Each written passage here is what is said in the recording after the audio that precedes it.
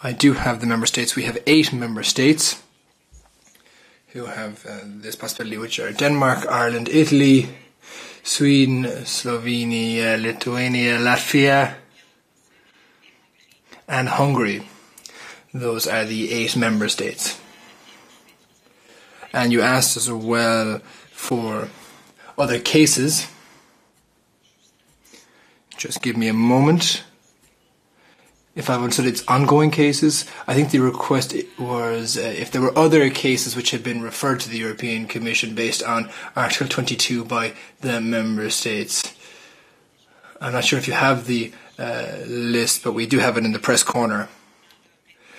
Yes, we have the Meta Kustomer case, the Viasat case, Inmarsat, and uh, Cochlear Oticon case. These are the cases where the member states had legal jurisdiction to uh, carry out analysis on these transactions, and they used Article 22 to transfer these cases to the European Commission.